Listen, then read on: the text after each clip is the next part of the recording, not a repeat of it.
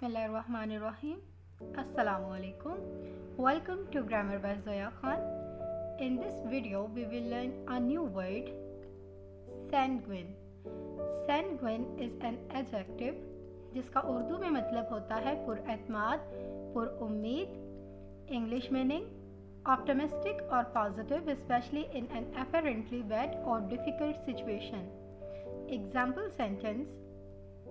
He is sanguine about prospects for the global economy.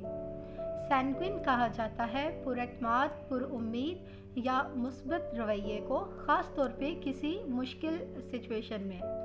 इसे याद करने के लिए मैं आपको एक मेमोनिक देती हूँ। Sang win singing for winning ठीक है? Sang win he sang a song to win the competition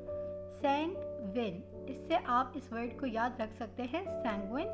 all right now your task is you have to use this word in your own sentences and do not forget to subscribe my YouTube channel